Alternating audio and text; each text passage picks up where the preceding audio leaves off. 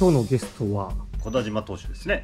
ルーキーの方ですよね。そうですね、僕はねほぼ面識はないのであのキャンプでね挨拶程度しか多分会話がなかったので明るいキャラクターというかねまた人にはない、ね、表現の仕方をするので、まあ、僕と真逆というか聞くものがたくさんあるのかなと思いますでは小田島投手よろしくお願いします。お願いします。あんまりねこう僕と会話するのなかったですけど。そうですねはい。あのまあ1年目ということで、はい。どうですかこのプロの世界。率直な今の。そうですね。本当に楽しく好きなことをまあ仕事にしてはいできているのではい。本当すべてが新鮮で楽しく今のところやらせていただいてます。こうプロに入るにあたってこうなんかそのあ自分ってどれぐらいやれるんだろうっていうのがあったのかいや、はい。絶対自分いけるなっていうのがあったのか。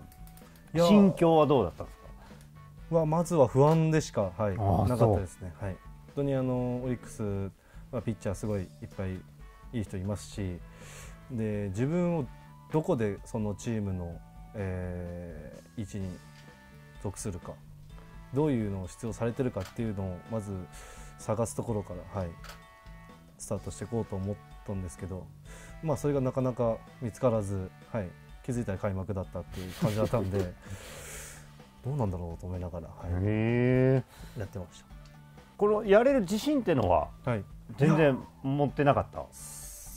まずはそのまっすぐがどれだけ通用するかっていうのを肌で感じていきたかったんですけど、キャンプの時もやっぱこうやっぱ新人っていうのがあってこうすごい大事に、うんはいあのーゆっくりとこう調整をさせていただいてて、まあ、自分的にはまだ物足りないなっていう感覚がありながらオープン戦に入っていったので状態的にはそこまで上がらずだったんですけどまあまっすぐでファウルはもらえてるなっていう感覚があったのでこれからまあそこ時はまあ2軍にしかまだ投げてなかったのでそこはどうなんだろうと思いながらはい開幕を迎えたって形ですね。でも僕もキャンプね、えーはい行かしてもらいましたけど評価は高かったですよ。あそうなんですね。名前は結構ね僕がいる時あんまりね皆さんブルペン投げないので いろいろ見る機会がねあんまなくて、はい。なんですけどうんやっぱ名前は出てきてました。ちゃんと。面白いよあの子っていうのをはい。ねピッチングの方ねああ、そうです。どうですか？今ねこう取材これしてる中で今20試合はい。ねまだ取られてないというはい。ところでいいモチベーションになってますか？逆にちょっといやそろそろなんかうーん、そうですね。もう、まあ、ここまで。そうですね。20試合抑えてる、点取られてないっていうのも、正直。実感はないっていうか、まあ、奇跡だなっては自分は、はい。奇跡ではないですよ。思ってるんで。はい、まあ野手にも方にもそうですね昨日も助けてもらってはい。いますし本当にピンチも自分で作りますし はい。まあいい意味で開き直って投げれてるんで、まあ、いいマインドでははい投げれてはいうんます、確かに。角度いいよね。ボールの。そうですかね結構どうですか？僕が見てるのと小田島君が思ってるのはちょっと違うかもしれないですけどはい。低めのまっすぐってはい。あんまり皆さん手出してこないっていうのは感じてます？はい。はい。思います。はい。多分あれボールに見えてるんです出だしがそうやっぱチェンジアップもあるし、はい。やっぱ落ちるボールがあるからそれをケアしながらねプロのバッターってある程度イメージするんですけど低めのやつがやっぱそこに落ちるっていうイメージが多分ね持ってる中ではい。例えば真ん中低めでもどっちかというと手出してこない。そうですね。あっさり見送られるんで、意外と投げれないのよあそこ。であの角度っていうのも他のピッチャーにはない。すごい武器なの実は。初めて知りました。えそう でしょ？僕自身そんなにあの低めに投げようってあんま思ってはなくて、うん。ベルト付近で、まあ、ファールをもらって、うんで最後にまあローに集めるっていう、まあ、それが引っかかって、まあ、逆にいい感じにかかってし低めにいってるっていうのがあるかもしれないです。でも低めのボールが垂れずにねあのままこう伸びてはい。ストライクゾーンの中で来るっていうのは 上だけじゃなくてはい。下半身の使い方も実は非常にうまい。下半身をうまく使わないとあのボールって伸びないのよやっぱり。垂れちゃう。上だけの状態だけで投げるはい多分そんな多分そこまで意識して多分ね今は多分投げてないと思うけど、結構突っ張る形なんで、まあ、こう地面反力を使うっていうかこのテコの原理じゃないですけど、うん、のはイメージはしてはいますけどそんな深くは考えてない そうなのねでもやっぱりあのねピッチャーやってる人間ってやっぱ低めを伸びるボールを投げる要は垂れずに投げるっていうのが非常に実はどういう使い方したらそれになるのかって非常に実は難しくてでもあのボールは素晴らしいなと。ありがとうございます。いえいえもう。あの野球の話はもうこの辺に しながらというか、はい。あのね僕どっちかというとマウンド上で表現はしない、はい。はい、わざとしないようにしてるタイプ。はい。で全く真逆。そうですね。はい。なんですよ、はい、出します。はいこのねあの表現っていうのは実いつ頃から？いやーまあ野球を始めた頃からですかね。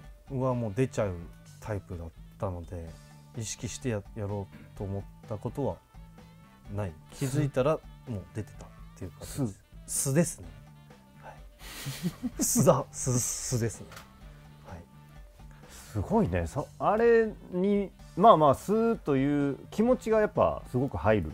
はい、気持ちでしかカバーできないとは今のところは思ってはいるのでそこまですごい技術があるわけでもないですし武器があるかって言ったらそれこそ他のピッチャーの方がいっぱい、はい、球も速いですし変化球もあるのでそれでこう気持ちで押せるかとは、はい、思ってますね。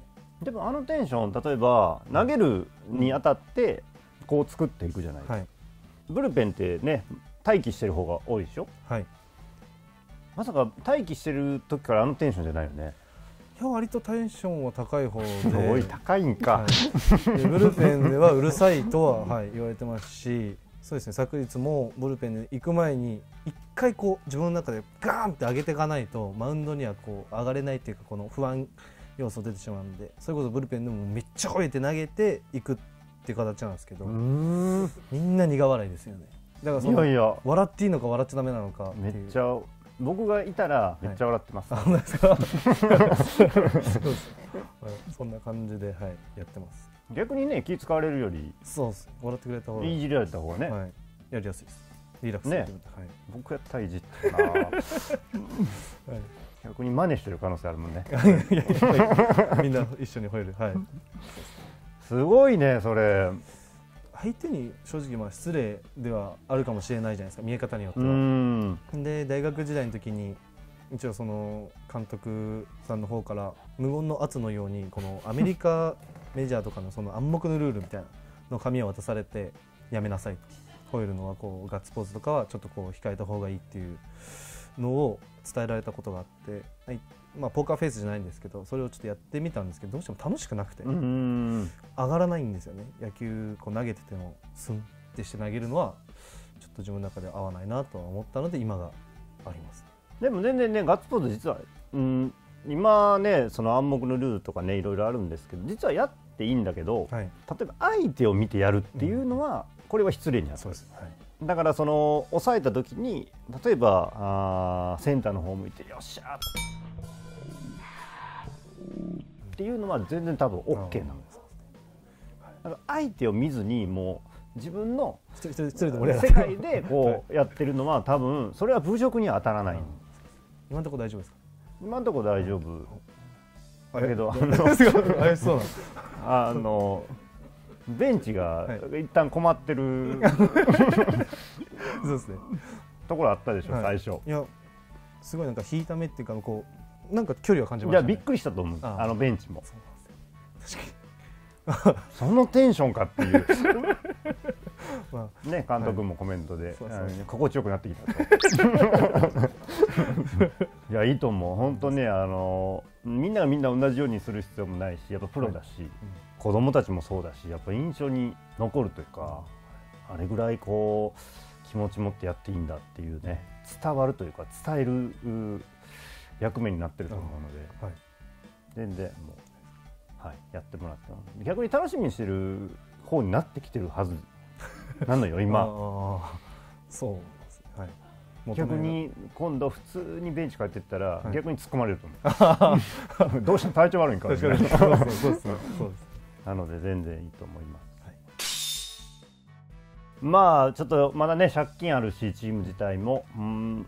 で怪我人もすごくはい。多くて、まあや本当にねいいところで場面で投げたりとかってねはい。どんどん増えてくるのではい。どうですか？今後に向けてこうよしやってやるぞとっていう感じですか？はい、本当にあの今任されてるところって中継ぎの中ではすごい幸せな、はい、とこなので楽しんででもやりたいなとは、はい、変にプレッシャーを感じることもせずにチームを勝たせられるなんか勢いも、はい、ちょっとこうやっとチームの輪に馴染んでこれたなっていう感覚があるので去年の日本一取れずに胴上げっていうのをテレビ上で僕見てて もうその時には決まってたんでなんかすごい悔しくてでやっぱやるからにはめちゃめちゃ入ってるやんもう。その時期からもう気持ち入ってる。でなんで本当に悔しかったんでどうにか日本一のその勝つためのピースになればなとは思ってます。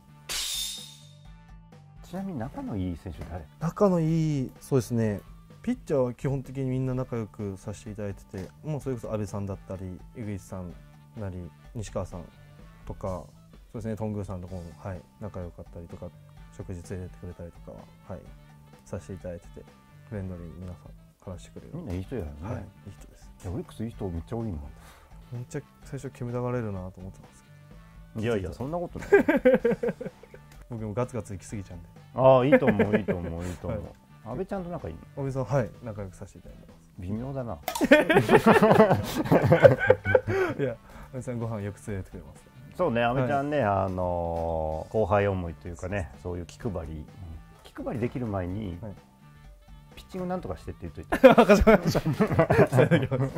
いや本当にあの昨日も行く前に俺は19イニング連続抑えて20試合目か。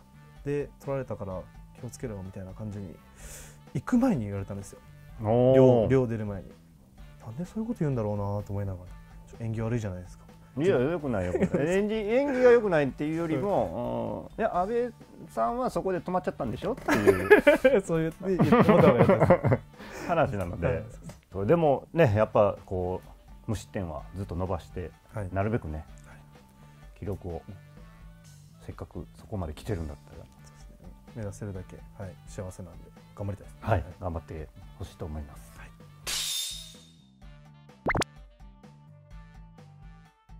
そうですね。昨日ね僕ちょっとテレビで解説してて、はい。思わず突っ込んでしまったんですよ 自分でなんで見とこうもんなみたいな。はい、いやあれは僕自身茨城出身っていうのが、うん。はい、ありまして何か癖を出したいなと思って もう洋楽確かにまあかっこいいのもありなんですけど、まあ、僕のキャラ的にちょっと違うなと思いましてまずインパクトがあってで歌詞的にもちょっと結構いいなと思ったので、まあ、渋いし。なので、まあ、水戸黄門にありました。水戸黄門ちちなみに知ってます？ああ見たことあります、はい、母の方の実家の方でよくテレビ流れてたんで。あの頃え小田島君の時もまだやってた？やってましたね一しけさん角さんいる？いましたね。これですよ。やってました内容はそこまで覚えてないですけど。内容基本はね悪代官が必ずいて 退治をしていくっていう。っていう話派ですよね、はい、なるほど。そういうことなんですね。深い意味はもう全くまあまあまあもちん、ろんね、やっぱね茨城水戸というそうですつながりのもと、はい、ありいやいいと思いますよ。がとうございます。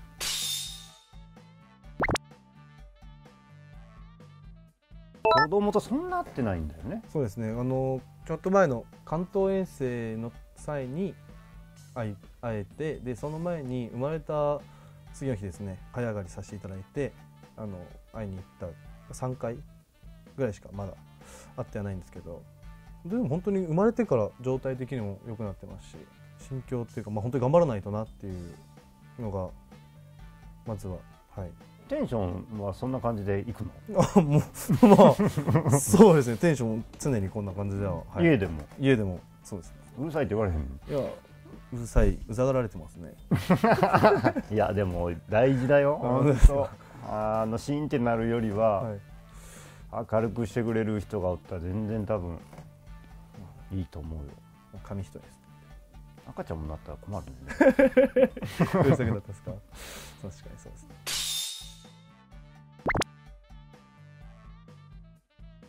ピンチの際あるじゃないですか、まあ、2-3になるのが自分は別に嫌嫌ではない感覚ではあるいや2-2の時の方がちょっと嫌だなっていう感覚であるんですけど大体被打率が多いのが自分2ボール2ストライクの時、へー。はい、多くてその際にまあどちらかというと決め球変化球になるとは思うんですよ。決め球の際の心境というか、まあ、プロはひっつきがすごいっていう感覚であるうんまあそこは多分ある程度想定してる中の対応をしてるのでバッターあーまあ2-2と3-2ってあの基本的に2-2が勝負球にはなるのよ、うん。3-2にしたくないっていうのがピッチャーの心理でまず。はいで3-2になるともう五分五分の状態になっちゃうから、はい。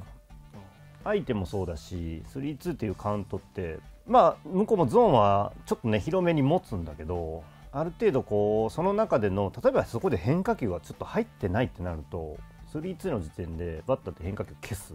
まず、ボールになるはい。ってなると狙う狙うものってまっすぐになっちゃう、うん。ぐらいやっぱそれだけ割り切ることがあるから、うん。バッターって。だから3-2って本当難しくてき例えば本当際どいところってあんまり手出さないバッターも。ああそうですね。はい。逆にいるし。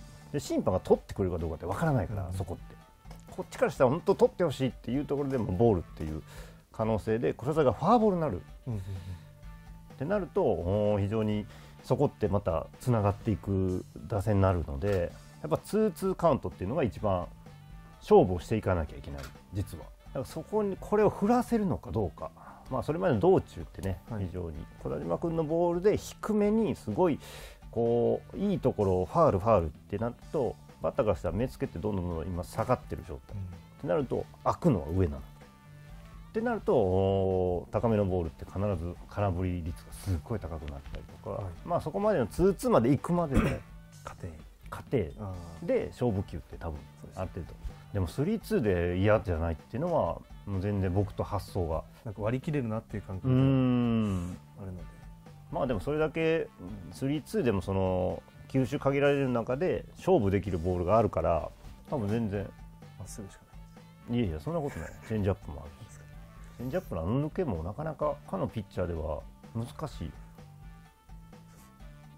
バッターの反応見たら一番分かりやすいですね。チェンジアップのそういうう抜けたボールのタイミング合わずに振振るっていうのはまっすぐに見えてる可能性もあるし。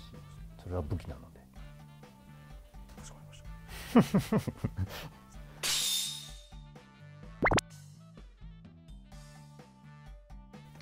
えぐいな。いないな。取られてないもんね。点違う。あのなんですかね思ったら負けだなって自分は思ってましてこうそれこそ最初のオープン戦一軍のオープン戦で巨人とやった時にその坂本選手だったり丸選手とかやっぱ自分でも分かるような人と投げた時にストライクゾーンがやっぱこう小さく見えたりとか、やっぱこうその時点で、まあ、それこそ、ま、打たれましたしでフォアボールも出しましたし、まあ、その時点でもうダメだなっていうのを思ったんですよ。なので何ですかね気持ち的に負けちゃいけないっていうか憧れちゃいけないとは思って立ってるので。素晴らしい。でもいやでもスイング見る限り山川さんとかもサードライナーとかすごかったですし。ピッチャーは逆にね。じゃあピッチャーですごいなって、あー。伊藤大美選手は大学ジャパンの合宿の際に一緒でちょっとこうその時に初めて見てでまたプロの世界で見たんですけどやっぱりコントロールいいですし器用ですしすごいなとははい。いやでも俊平太もすごいですし。まあまあまあまあね、いやいやてかもう本当にみんなすごいんで宇田川さんもですね無駄がすごくない別にいやほんのわけわかんない投げ方から。すわけわかんないって俺は一言も言ってないからね そういうの。いやすごいなと思いながら。みんな色があってすごいなと思いますねいいね。でもその考え方は素晴らしいと思います。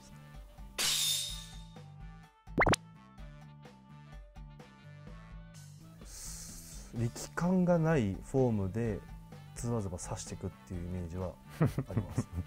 僕はもう140先投げますって投げてっていう感じですけどスッスッなんで多分打ちに逆にこのどうやって力を抜いて投げるのかっていう抜くのが一番難しいじゃないですか。抜いてはないんだけどなんか無駄なものがどんどん取れていったっていうあオリックスでもねはい。佐藤候補っているでしょ？はいはい。あのすっごい投げる子なのよ。はい。キャンプでもで試合でも。はい。なので非常に投げ方が上手。もともと多分もっと力投してたピッチャーなんだけど、その投げ込みをすることによって無駄なものをどんどん自分で気づいて頑張って投げなくてもこういうふうに投げたらボールの質って変わらないよ。みんなそれで掴んでいってなんか故障にもつながりにくくなるしっていうね、でも今のままで全然いいと思いますよ。うん力みすぎるとまあそれはね、あのどのピッチャーも当てはまる。はい。合ってます？大丈夫ですか？合ってます。合ってます。やったことない。お願いします。目線こっちで。お願いします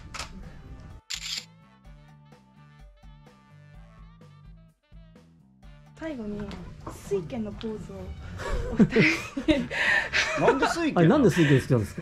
あ水拳好きなの？そうですね一応名前が清流。はいはいはい。は いでジャッキー・チェンの映画はまあ水拳が。ジャッキー・チェーンは水拳だけじゃないからね。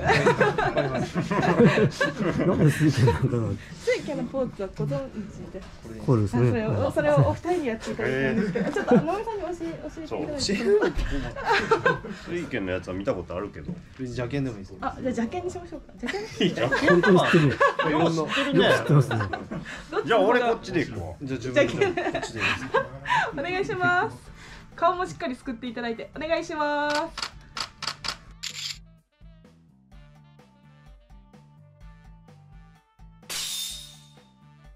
まあでも本当気持ち入ってっていうところはねまああの子のお特徴かなと思うので。でも全然ああいうタイプがいる方がねチームも盛り上がるっていう意味ではいいと思いますよ。そこにね結果もついてきてるし。ただ結果が出なくなった時にあのテンション保てるかどうかっていうのは今後楽しみです。わかりました。ありがとうございました。ありがとうございました